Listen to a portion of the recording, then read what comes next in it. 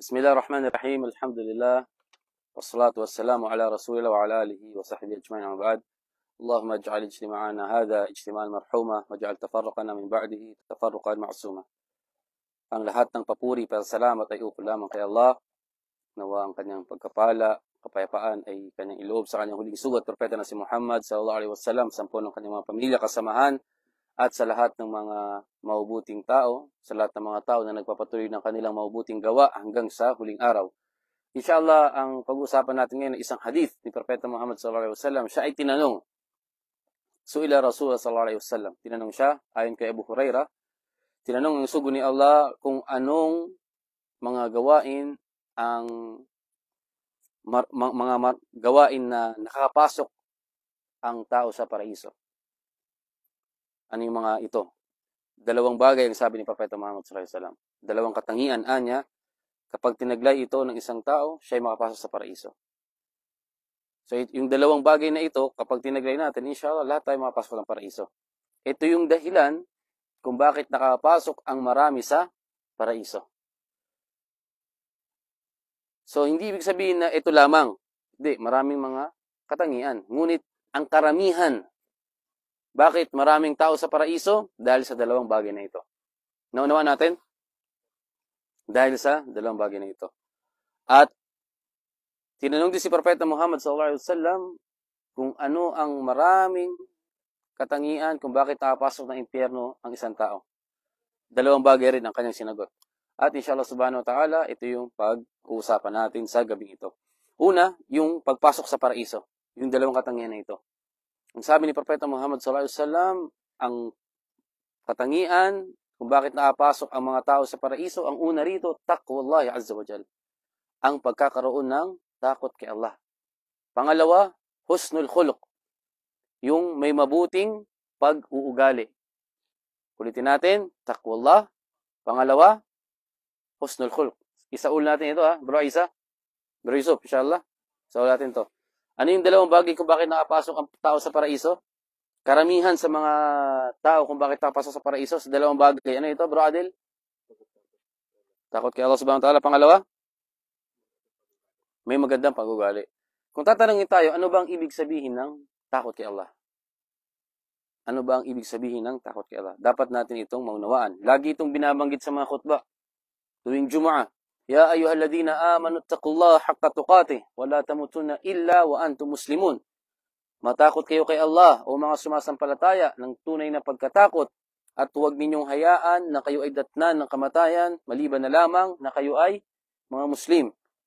Lagi natin itong napapakinggan. Lagi natin itong naririnig ang tanong, ano ba ang ibig sabihin ng takot kay Allah?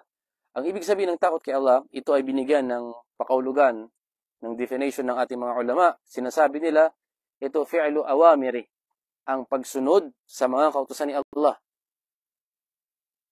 Watarko nawahi, at yung pag-iwan sa mga ipinagbabawal niya. Pagsunod sa mga kautusan ni Allah at pag-iwan, pag-iwas sa mga ipinagbabawal niya. Sa mga kapatid, ang takot kay Allah, yung pagsunod sa kanyang mga kautosan. Maraming mga tao, mga kapatiran natin, kapag tayo ay nasa labas, syempre kasama yung mga kapatiran, kasama natin yung mga kapatid sa Islam, nakiki- nakikita natin yung mga kapatiran natin nagsasala, tayo ay nagsasala rin. May mga ganun. At yung iba naman, kapag kasama niya yung mga kapatiran nag, nagpa-fasting, nagdadawa, sumasabay siya. Ngunit kapag nag-iisa na lamang siya, nag-iisa na lamang, nawawala ang takot niya kay Allah. Hindi na siya nagsasala, hindi na siya nag-aayuno, hindi na siya nagdadawa, mahina na siya. At kapag may mga kasalanan, mga ipinagbabawal, ginagawa niya na ng malaya. Kasi wala siya sa paningin ng kanyang mga kapatiran sa Islam. Hindi ito yung takot. Yung takot kay Allah, dala-dala mo saan ka man naroroon. Katulad ng sinabi sa hadith ni Propeta Muhammad sallallahu alaihi wasallam, Ittaqillah haythuma kunt. Matakot ka kay Allah saan ka man naroroon. Wa atbi'is sayyi'a al-hasana tamhuha. At sundan anya ang kasamaan ng kabutihan, buburahin niya ito. So alam ni Propeta Muhammad sallallahu alaihi wasallam ang kahinaan ng isang tao. Minsan kapag nag-iisa tayo, nakakaisip ng hindi maganda, nakakagawa ng hindi maganda kasi malayo sa paningin. Ganun pa man, si Propeta Muhammad sallallahu alaihi wasallam ginabayan tayo ng ating gagawin upang maburay mga kasalanan natin. Wa atbi'is sayyi'ah alhasana. Kapag makagawa ka ng pagkakamali, gumawa ka kagad ng kabutihan. Magtawba kay Allah, magbalik loob kagad kay Allah sapagkat yung kabutihan buburahin niya yung kasamaan. At sinasabi sa ng Quran, innal hasanati yudhibna as-sayyi'at. Ang mga kabutihan, ang sabi ni Allah Subhanahu wa Ta'ala, ang mga kabutihan binubura niya ang mga kasalanan. So ito yung gabay sa atin ni Propeta Muhammad sallallahu alaihi wasallam na tayo ay maging mabuti, gumawa ng kabutihan pagkaraan ng kasamaan. Wa bi sayyi al-hasan tamha wa khaliqin nas bi khuluqin hasan. Ito mga kapatid. At gumawa ka ng kabutihan sa mga tao. Ang hadith na ito mga kapatid, uh, may ugnayan ito sa hadith natin tinatalakay. Una, yung takot kay Allah. Ito ay karapatan ni Allah subhanahu wa ta'ala. Dapat tayong matakot sa Kanya. Pangalawa, karapatan ng ating sarili. Kapag tayo magkasala, gumawa kagad tayo ng kabutihan. Pangatlo, yung karapatan ng iba ibigay natin. Maging mabuti tayo sa kanila. So mga kapatid sa Islam, yung takot kay Allah subhanahu wa ta'ala, nalaman natin na ito yung pagsunod kay Allah at pag-iwas sa mga kasalanan. Ito yung pakahulugan niya. Ang iba naman, sinasabi nila, ang ibig sabihin ng takot kay Allah, ang pangilag sa paggawa ng kasalanan. Ibig sabihin, lahat ng kasalanan, pagsuway, iniiwasan ng isang Muslim. Yan yung takot kay Allah. At kapag tinaglay ng isang Muslim ang takot kay Allah, inshallah makapasok siya saan? Sa paraiso. Inna ma itakabalallahu minal muttaqin. Tunay na tatanggapin lamang ni Allah subhanahu wa ta'ala yung mga matatakutin sa kanya. Yung tauba, ng isang tao kapag ganap o tapat ang kanyang tauba, tatanggapin niya ni Allah subhanahu wa ta'ala. Ang sala mo kapag ikaw may takot kay Allah, tatanggapin yan. Ang pag-aaral mo, kapag ikaw ay matatakotin kay Allah, tatanggapin niya yan. Kapag ang da'wa mo, may takot ka sa Kanya, hindi pa kitang tao, tatanggapin Allah subhanahu wa ta'ala. Lahat ng ibada, lahat ng pagsamba, yung kawang gawa, pagtulong sa mahirap, yung pagkatay, yung pagiging mabuti sa mga tao, kapag yan ay may kaakibat na takot kay Allah, natakot ka kapag hindi mo ginawa yung bagay na yan, paparusahan ka niya, at umaasa ka na gagatib pala ang kanila Allah subhanahu wa ta'ala, at mahal mo si Allah subhanahu wa ta'ala, inshallah, tatanggapin ni Allah ang ating mga gawain. Kasi mga kapatid, mahirap naman kung hindi tatanggapin ni Allah ang ating, ang ating mga gawain. Bakit mahirap? Halimbawa na lamang salatul fajar. Kapag tag-init, anong oras yung salatul fajar? Kapag tag-init. Kapag tag-init, anong oras yung salatul fajar? Hindi, kapag tag-init, maaga. Minsan, mga, aywa, mga 3.30, minsan 3.20 pa. Bago mag alas 4, kapag tag-init. Pero kapag taglamig, anong oras yung Ayan, mga almost mga 5.30 yan kapag taglamig. So mga kapatid, ang gusto nating bigyan ng pansin dito, mahirap yung nagpa-fasting tayo every Ramadan. Tapos nagigising na maaga para sa Salatul Fajar. Puputuloy natin yung tulog natin para sa Salatul Fajar. Ikakat natin yung trabaho para sa Salatul Fajar nagdadawa tayo, tapos hindi tatanggapin sa atin. Hindi ba mahirap yun? Ngayon, para tanggapin ni Allah subhanahu wa ta'ala ang ating mga gawain, taglay natin ang takot sa Kanya. At dapat ibigay natin yung haligi, yung haligi ng, ng ibada. Yung mga haligi ng ibada para matanggap ang ating mga ibada. Ano ito? Yung una, yung pagmamahal kay Allah, kaya mo siya, kaya ka gumagawa ng pagsamba dahil mahal mo si Allah. Pangalawa, yung yung raja. Ibig sabihin ng raja, umaasa ka, nagaganti pala ang kanila Allah subhanahu wa ta'ala sa ginagawa mo. Kasi may mga tao, sala ng sala, ah, para lang ano, sala kasi obliga, oblig, obligasyon, alam niya na obligasyon. Pero hindi siya umaasa, nagagatipalaan siya. Mali yun. Kaya ka nagsasala kasi umaasa ka nagagatipalaan ka ni Allah. Dapat mayroong pag-asa. At kaya ka nagsasala rin kasi mahal mo si Allah. Pangatlo, yung khawf. Kapag hindi mo ginawa yung isang bagay na yan, natatakot ka, napaparusahan ka ni Allah. Yung, tatlo, yung tatlong haligi ng ibada, dapat maunawaan natin at maintindihan ng lubusan. So, babalik tayo sa takwa, mga kapatid, sa takot kay Allah subhanahu wa ta'ala. Ang takot kay Allah, hindi lamang sa, dito sa Al-Nikra, hindi tayo halimbawa, hindi lamang sa masjid, hindi lamang sa madrasa, hindi lamang sa Saudi Arabia, saan ka man naroroon, dapat dala mo ang takot kay Allah subhanahu wa ta'ala. Pangalawa, yung dahilan kung bakit nakapasok ang tao sa paraiso is yung may mabuting pag-uugali. Ang tanong, ano bang ibig sabihin ng pag-ugali? Yung magandang pag-ugali. Meron, meron kayong idea? Ano ibig sabihin ng magandang pag-ugali? Sinasabi ng ibang ulama, ang ibig sabihin ng mabuting pag-uugali, una, ito ay may ugnayan kay Allah subhanahu wa ta'ala. Kapag mabuting tao ka, kailangan iugnay mo muna ang sarili mo kay Allah subhanahu wa ta'ala. Maging mabuti ka kay Allah. Paano ka maging mabuti kay Allah? Sumunod sa kanya mga kautusan at lumayo sa kanya mga ipinagbabawal. Ano man it- itakda sa ni Allah subhanahu wa ta'ala, nag-iisip ka ng mabuti sa iyong Panginoon. Mabuti man o masama ang dumating sa iyong buhay, dapat ka mag-isip ng mabuti sa iyong Panginoon. Ito yung pag-iisip ng mabuti kay Allah. Maging mabuti ka sa Kanya. Pangalawa, yung ibig sabihin ng mabuting tao, mga kapatid, ito yung lahat ng bagay na dumating sa Kanya, mga pagsubok, mga suliranin, mabuti man o masama, tinatanggap niya ito ng bukal sa kanyang kalooban at lagi siyang nakangiti. Ha? Alam mo, bro, assalamualaikum. Nakangiti siya sa'yo palagi. Hindi yung nakasimangot. Ano ba, ano ba naman to? May bisita na naman ako. Ayan. Ano, si brother, dito na naman. Lagi na lang, bisita, ganito, ganyan. Hingi na naman ng tulong, ganito, ganyan. Hindi ganun. Ang mabuting tao, lagi nakangiti. Ano man ang dumating sa kanya, tahimik lamang siya, hindi siya nagasalita. Yan yung mabuting tao. At kapag sinaktan siya ng kanyang kapwa, may ano eh, may may batayan o, o hindi, may ano, may tinatawag rito, may pamantayan ang pagiging mabuting tao. Kapag ginawan ka ng kasamaan, magpatawad ka. Tandayan ng mabuting tao. Faman afa wa aslaha. Sabi ni Allah subhanahu wa ta'ala, faman afa wa aslaha. Sino man yung magpatawad, wa aslaha. At inayos ng tao na yon ang kanyang sarili, siya, ang gatipala niya ay kay Allah subhanahu wa ta'ala. Tandaan natin yung pagpapatawad, ito ay may, alam natin yung, yung tamang paraan. Kasi hindi lahat ng tao kailangan patawarin. Tandaan natin.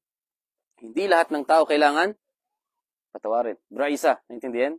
Naintindihan? Hindi lahat ng tao kailangan patawarin. Kapaano?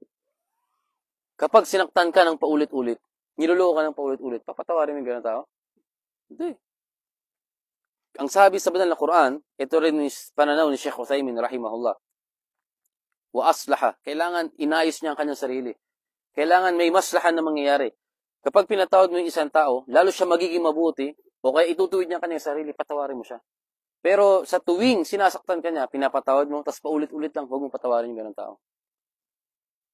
Huwag mong patawarin yung ganun tao. Kasi niloloko ka lang, lalo yung magnanakaw, sinasaktan ka, inaapi ka, yung paulit-ulit, huwag. Huwag mong hayaan na ganun. Pero kung may, may pagbabago, patawarin mo siya. Ito ay mainam. Naunawa natin mga kapatid. Halimbawa, meron kang ano, may kayamanan ka, tapos may trabahador ka, nakaw ng nakaw, okay lang patawarin mo. Okay lang ba yun? Kitang-kita na sa camera, nagnakaw. Tapos, sir, pasensya na sir. Bro, pasensya na bro. Hindi ko sinasadya. May kailangan lang talaga eh. Yung ganun, pinatawad mo siya. Tapos nakita mo naman, pinatawad mo uli. Tama ba paulit-ulit na lang? Hindi. Ina, maaari yung pagpapatawad sa kanya, dahilan yun upang lalo siyang maging makasalanan manatili sa gawaing haram. Ganyan din yung panluloko. Kapag niloko ka, huwag patawarin. Kapag patuloy, kapag patuloy ka niloloko, sinasaktan ka, dinadaya ka, inaapi ka, huwag. Huwag ganun mga kapatid. Ano yun, di ba bro? Sa... Saan yan? Sa lamok? Bro Adil, law samaht. Min fadlik. Barakallahu fik. Tama mga kapatid. Ang, ang mabuting tao, sinabi natin, yung tinatanggap niya ang lahat ng dumating sa kanya, mabuti man o masama, at mabuti siya sa mga tao, sa mga nakapaligid sa kanya, musliman o hindi, yan yung tanda ng mabuting tao. Lagi nakangiti. Bro, Yusuf ha, lagi nakangiti. Pero kailangan sa mga kapatiran lang, sa kapwa lalaki. Di ba? Mamaya kapag nasa labas tayo, may, may mga sister dyan. Oh. Soon na kasi lagi nakangiti.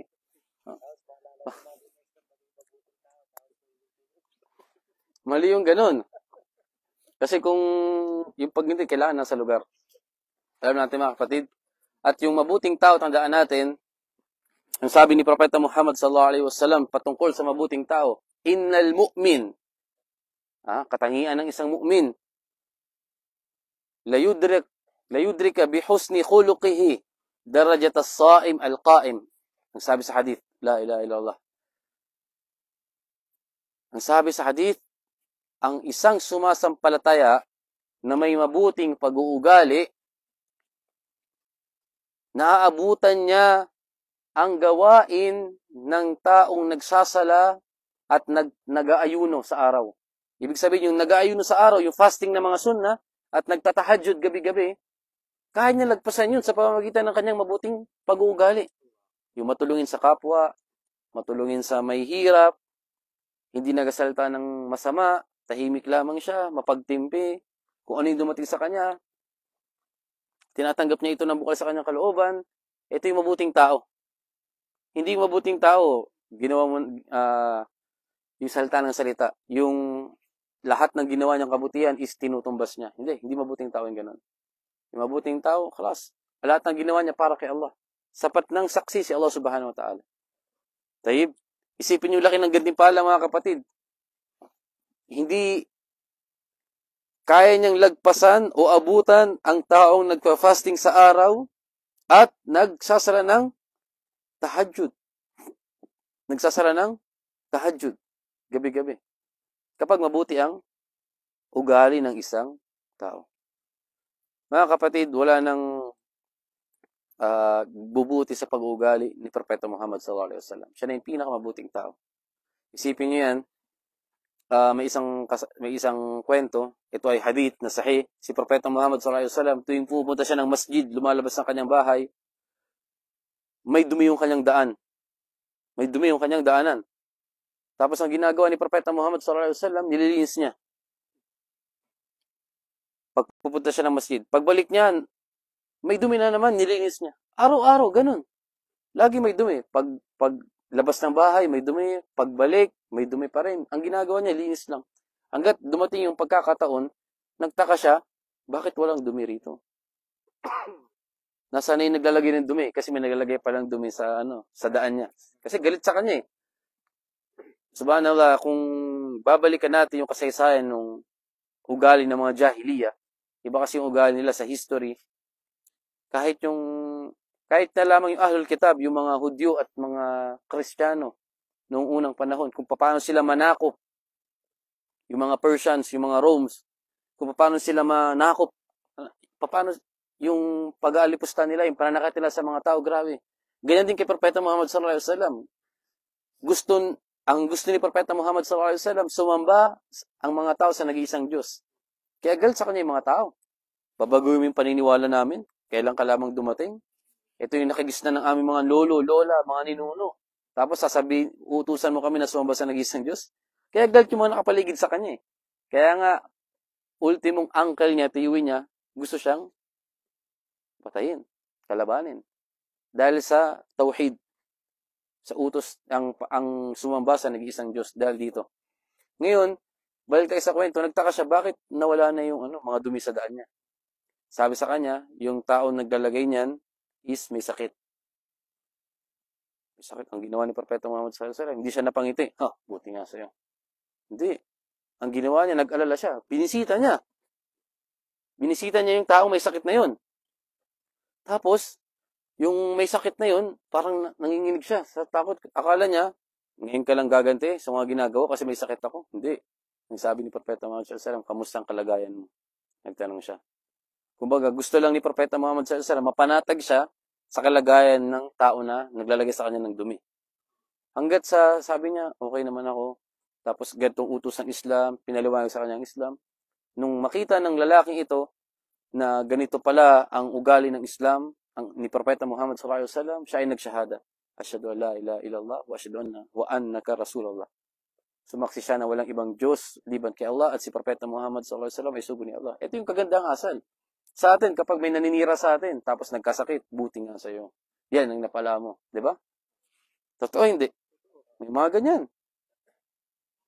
Yung mga nananakit, buti nga, yan yung napala. Kulang pa yan. Yan. Yung nagkasakit, yung, yung kaaway, subhanallah. Si Propeta Muhammad sallallahu alaihi wasallam, tignan niyo yung ginawa sa kanya. At yung ginanti niya. Meron pang pangyayari, uh, matandang babae, nakita ni Propeta Muhammad sallallahu alaihi wasallam, nagmamadali, may buhat na bagay, mabigat. Tapos nagmamadali matandang babae ito. Sabi niya, o inang, tulungan ko na po kayo sa ano, sa bit-bit-bit-bit ninyo. Nadala-dala niyo yung bagahe. Sabi niya, sabi, na, ano, nagpumilit yung matanda. Sabi niya, wag, huwag mo tulungan kasi wala akong may gaganti sa iyo eh. yung ugali kasi ng mga Arabo, noong araw, hanggat hanggang ngayon, kapag may ginawa ang kabutihan sa kanila, kailangan mayroon silang igaganti sa'yo. Kailangan may kapalit yan. Anumang bagay yan. Pinakain mo siya, may ibibigay yan sa'yo. Bilang ganti. Parang nakagisna na nila ganun. Kaya nga sabi ni Propeta Muhammad sallallahu alaihi wasallam, Man sana'a minkum ma'rufan fakafi'u. Sino man ang gumawa sa inyo ng kabutihan, tumbasan niyo yan. Sino man ang gumawa ng kabutihan, gantihan ninyo. Anong gaganti mo sa kanya? Kung wala kayo may gaganti, magsabi na lamang kayo ng jazakallahu khairan jaza. Ito yung dapat sabihin natin, hindi yung syukran. Mas mainam sabihin, ano? Jazakallahu khairan jaza. Sino man yung gumawa sa atin ng kabutihan. Kaya yung matandang babaeng ito, hiyang-hiya siya. Wala siyang may bibigay. Hanggat sabi niya, uy, nang tulungan ko na kayo. Pero dahil siya ay nangangailangan ng tulong, matanda na siya, uh, at sa pagpupumilit ni Propeta Muhammad sallallahu alaihi wasallam, napapayag niya yung matandang babae. Ngayon, nung mainit yung tirik na araw na yun, tapos buhat-buhat ni Propeta Muhammad sallallahu alaihi wasallam yung gamit ng matandang babae na ito. At nung nakarating sila sa ano sa lugar na gustong puntahan ng babae, nagmadaling pumasok yung matandang babae sa bahay, naghahanap siya ng may bibigay kay Propeta Muhammad sallallahu alaihi wasallam. At para sa kalaman natin, hindi niya kilala yung lalaki na yun, ha? hindi niya alam na yung tumulong sa kanya si Propeta Muhammad sallallahu alaihi wasallam. Nagmadali siya, tapos wala siyang mahanap. Hanggat sasabi niya kahit isang ano, pirasong dates lamang. Ha? Isang pirasong dates lamang. Mabigay ko sa lalaki na tumulong sa akin. Wala siya, kasi mahirap lang siya. Ngayon, sabi niya, oh, iho, wala akong may bibigay sa'yo na may gaganti sa ginawa mo kabutihan sa akin, ngunit meron akong may papayo sa iyo na mas mainam pa sa material na bagay. Yung payo ko, mas mainam pa sa material na bagay. Mayroong lalaki na nagngangalang Muhammad dyan sa Makkah. Sabi niya. Yung lalaki na yan, nagdadala ng bagong relihiyon. Hinihimok niya yung mga kabataan na sumamba sa nag-iisang Diyos. Gusto niyang baguhin ang relihiyon ng ating mga ninuno. Kapag makita mo siya, huwag na huwag kang maniniwala sa kanya. Layuan mo siya. At siya nga yung dahilan kung bakit ako umalis ako. Kasi ayoko makita siya, ayoko marinig ang pangalan niya. Hindi niya alam yung kausap niya ay si Propeta Muhammad sallallahu alaihi wasallam. Tapos si Propeta Muhammad sallallahu alaihi wasallam nakababa lamang ulo nung matapos magsalita yung babae. Inantay niya munang matapos magsalita. Sabi niya, O inang, ako po si Muhammad na tinutukoy ninyo. Nung marinig ito ng matandang babae, marinig-rinig yung ano, uh, pagkaraan niyang insultuhin, maliitin si Propeta Muhammad sallallahu alaihi wasallam, yung tumulong pala sa kanya ay si Propeta Muhammad sallallahu alaihi wasallam. Ang ginawa ng babae, nagshahada siya. Shahadu la ilaha illallah wa annaka rasulullah. So ganito yung kagandang asal mga kapatid. Kaya nga ito yung dahilan kung bakit maraming tao ang nakapasok saan? Sa paraiso. Yung gagawa ng yung magtatrabaho na lamang, hindi lagi na lang ganito, bakit ganito? Mabuting pag-uugali. Yung reklamador, hindi mabuting pag-uugali yan may mga ganyan katangian ng mga babae. Alam niyo yung babae? Kaya nga yung babae, ang sabi sa hadith ni Propeta Muhammad sallallahu alaihi wasallam, kung bakit marami sa kanila nakapasok sa paraiso, uh, nakapasok sa impyerno, ang sabi sa hadith, law ahsanta ilayhi dahar, ilayha dahar, kahit maging mabuti ka sa kanya isang taon, isang pagkakamali lamang, ang tingin niya sa'yo, burado lahat ng kabutihan mo. Yan yung tingin ng babae sa mga kalalakihan. Yung reklamo ng reklamo, ganto ganyan. Lalo na kapag nagkasawa ng pangalawa, bro, Ha? Hindi totoo. Gan, ganito ganyan. Kaya maraming nakapasok sa kanila sa impyerno. So, hindi ganun mabuting ugali ng isang tao. Yung mabuting ugali, hindi nagreklamo, hindi nagsalita kung ano itinakda sa atin ni Allah subhanahu wa ta'ala. So, ito yung dalawang bagay kung bakit nakapasok ang tao sa paraiso. Yung dalawang katangian na ito kung bakit marami nakapasok sa paraiso. Ano ito bro Isa? Takot kay Allah? Ano ibig sabihin ng takot kay Allah, bro Adil? Pagsunod sa mga kutusan ni Allah at hmm, tayo. Naman, yung pangalawang bagay naman kung bakit nakapasok ang karamihan sa mga tao sa impyerno. Ang sabi ni Propeta Muhammad sallallahu alfam. Alfam ang ating mga ha? Labi. Alfam. Hindi la. La, fam. Ito. Ating mga bibig. Pangalawa, al-farj, ang ating mga ari. Dalawang bagay kung bakit nakapasok ang karamihan sa mga tao sa impyerno. Ano ito, bro? Ha, yung ating mga bibig at ari. Ang bibig. Ang bibig pagkatapos ang bibig. Pagkatapos ang bibig. Bakit? Kasi ang dila, mga kapatid, salita ng salita yan. Hindi niya alam ay nakakagawa na ng shirk, nakapagsalita na ng shirk, pagtatambal kay Allah. Yung pagtatambal kay Allah. Sasabihin ng tao, yung lalo na yung mga ano eh, yung mga uh, walang kaalaman sa Islam, sinasabi nila, buti na lang nandyan yung doktor. Kung wala yung doktor, namatay na yung anak ko. Buti na lang nandyan si ano, yung aso natin. Si Blacky, kung wala, nakapasok na yung magnanakaw. Lahat ng yan ay ura ng shirk. Bakit? Kasi parang umaasa ka na sa doktor, siya yung dahilan kung bakit naligtas yung anak. Hindi. Ang sabihin natin, Alhamdulillah, sa tulong ni Allah, pagkatapos ng doktor, Tutulong tulong ni Allah pagkatapos ng doktor. Dapat mayroong pagkatapos. Kasi ang nag ang tumutulong sa atin si Allah Subhanahu wa Ta'ala. Ang tumutustos sa atin si Allah Subhanahu wa Ta'ala. Kaya dapat Allah palagi ang ating sinasabi. Ang ating mga dila nakapagsalta ng shirk, hindi lamang shirk. Yung pakitang tao rin. Bro, alam niyo ba? Kahit totoo sinasabi niya, nagbigay ako dati ng isang libo sa mga kapatirang Muslim. Binigyan ko yung tigisan daan. Sinasabi niya. Pakitang tao yun. Dahil saan? sa dila. Sa dila din, pagmamalaki. Pinagmamalaki niya, oh, mashallah, malaking pamilya ako. Tribo ko, ganito. Mayaman ako. Sa dila rin, sa pamagitan ng dila, nakakapang maliit ang isang tao. Ah, mga tao na yan. Pinakain ko lang dati yan. Tinulungan ko lang dati yan. Minamaliit niya na, ininsulto yung iba. Pagsisinungaling, panlalait, paninirang puri, yan ang gawain ng dila. Kaya ang tao, marami sa impyerno dahil sa kanilang mga dila. At karamihan din dito is yung mga babae. Dadak ng dadak. Saan na naman galing? Ha? Anong oras na? Late ka na. Totoo ba ito? Ano? Ha? Bro, totoo ba yung mga ganyan? Lagi ka na lang sa labas. Eh, mga may asawa. Eh, bro, wala asawa. Hindi totoo mga kapatid. Yan yung dila. Kaya, dahilan yung dila nakapasok sa yung dila dahilan kung bakit nakapasok ang karamihan sa mga tao sa impyerno. At ang dila, mga kapatid, mas matalas pa ito sa espada. Mas matalas pa sa espada. Mas mapanganib sa espada. Ang espada kayang tagain ng isang tao. Di ba? Pero yung espada, kaya niya bang pumatay ng tatlo sabay-sabay? Hindi. Apat?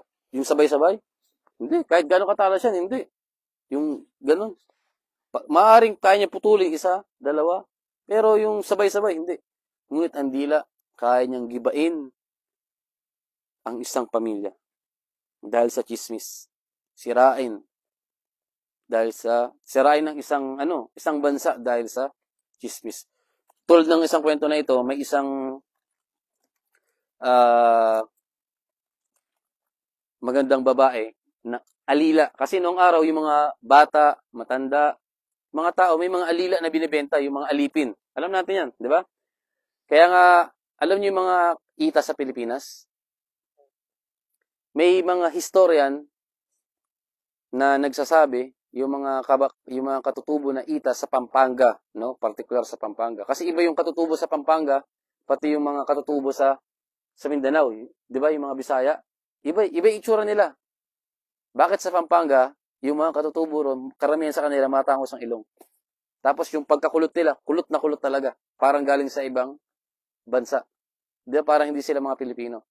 May mga kwento kasi, yung mga nag-aral ng history, sinasabi nila yung mga katutubo na galing Pilipinas, sila yung mga dala ng mga European, yung mga Espanyol na nanakop sa atin dati. Dala-dala sila sa, uh, sila yung mga alipin nila noong araw. Nakuha niyo yung point? Sila yung mga alipin ng mga Espanyol. Allahu alam kung gaano katotoo ito. Tapos natigil yung gera hanggang sa pumunta sila sa Pampanga. Kasi wala naman nagsusulat talaga na ano eh. Yung masipag magsulat, yung nangyari sa Pilipinas. Kaya nga isipin nyo, yung binigyan ng history sa Pilipinas, yung mga Espanyol, yung mga Hapon, yung mga Kano. Yung mga mandirigmang Muslim sa Pilipinas, yung mga nagtanggol ng ating bansa, hindi nabigay, hindi sila nasama sa history, di ba? Na, na, ang dapat sila yung bigyan ng pansin eh. Pero, ganyan talaga yung buhay. Alhamdulillah. Ayun yung pananaw ng ibang tao. Ngayon, mga kapatid, uh, balik tayo sa kwento natin. Yung alila na kinukwento ko, magandang babae ito. Tapos binibenta siya. Sino sa inyo yung bibili ng magandang alila ko na ito? Babae. Tapos nagtaka yung may mag-asawa na napadaan, napadaan yung mag-asawa na ito. Sabi niya, ba't binibenta mo yung babae na ito? Napakaganda. Kasi minsan, kapag maganda yung bata man o lalaki yan, talagang nakakantig ng puso, tsaka masaya ka kapag nakikita mo yan. Ang ganda naman, ba't binibenta mo? Sabi ng mag-asawa. Ang sabi ng may-ari, oo nga, maganda siya. Pero meron siyang pangit na katangian. Sabi ng mag-asawa ito, ano yun? Sabi niya, madaldal, chismosa yung babae, yung alila ko na yun. Salita ng salita. Sabi ng mag-asawa, kaya na yung baguhin yan. So, binili ng mag-asawang ito. Bro Adel, ano lang? Barakallahu fik. So, balik tayo sa kwento. Ang sabi ng mag-asawa, babaguhin nila yung yung babae na yan. Yung alila na yan. Ngayon mga kapatid, unang araw masipag yung babae. Matyaga sa gawaing bahay, nauutusan. Wala naman. Pangalawa, ilang araw, kalaunan, wala. Pero paglipas ng matagal-tagal na panahon, nagtaka sila, nagtaka yung lalaki, lumapit sa kanyang alila, kinausap siya. Sabi niya, alam mo ba, yung asawa mo, yung asawa mo, nangangaliwa. Ayan yung sabi. Siniraan niya. Hindi siya maniwala. Tapos pumunta sa babae naman. Yung asawa mong lalaki, mag-asawa ng pangalawa. Meron siyang bago. Kumbaga, gum- sinisiraan niya yung bawat isa. Pero yung hindi nakikinig eh, hindi naniniwala. Yung mag-asawa na ito. At lumapit uli. Sabi niya, yung asawa mong pumunta siya sa ano sa babae. Sabi niya, yung asawa mo may lalaki yan. Ah, may babae yan. Tandaan mo, ah, bantayan mo lamang yan. Wag mo wag na wag mo titinggil tit. Kumbaga wag wag na wag mo siyang haya mga pag-asawa. Tapos lumapit siya sa babae. Sabi niya, ang asawa mo may babae yan, mag-aasawa siya ng pangalawa. Ayaw mo bang mawala siya sa'yo? Sabi niya, sige, oh, ay- ayoko mawala sa akin yung asawa ko. Ngayon, sabi niya, pinayuhan niya, putulan, pumu- putulan mo siya ng balbas. Kuha ka ng balbas, tapos bigay mo sa akin, para meron tayong babasahin. Yung parang ganun, gayuma, at hindi mapag-asawa yung asawa niya. Habang natulog siya, kumuha ka ng balbas. Sabi niya sa lalaki, yung asawa mo, may lalaki, papatayin ka niyan. Kaya mag-ingat ka sa kanya. So, nalito na yung mag-asawa eh. Hindi nila alam na yung, yung ginagawa niya, eh, paninira sa bawat isa. Ngayon, yung kinagabihan na, yung lalaki, iniisip niya na papatayin siya nung asawa niya. Si babae naman, hindi na utulog kasi inaantay niya makatulog yung asawa niya para kumuha ng balbas. Nung si lalaki nagtutulog-tulugan, si babae ganun din nagtutulog-tulugan. Nung napansin ng babae tulog yung asawa niya, kumuha ng malaking kutsilyo para kumuha ng balbas. Akala nung lalaki, eto na, balbas. Hindi niya alam na kukuha lang pala ng balbas. Ang akala ng lalaki, papatayin siya. Mayroong faas, yung parang, yung, ta- tawag sa ganun? Hindi, hindi, yung panghati ng kahoy, palakol. Sa kanyang unan, kinuha niya, tinagad niya sa asawa niya, patay. Kasi akala niya, papatayin siya. Yung pala yung gusto ng babae is, balbas lamang. So mga kapatid, dahil sa dila yun. Ito yung dahilan kung bakit nakapasok ang karamihan sa mga tao sa impyerno. Chismis. Nung nalaman ng pamilya ng babae na pinatay siya, pinatay si lalaki ng pamilya ng babae. Ito yung chismis. Nalaman din na pinatay siya ng pamilya nung ano, yung lalaki na yun, pinatay ng pamilya ng babae.